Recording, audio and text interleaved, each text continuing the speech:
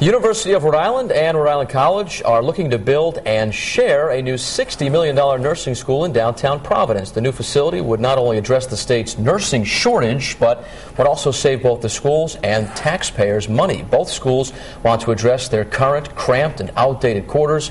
According to the Providence Journal, the new nursing school would be located near Rhode Island and Women and Infants Hospital.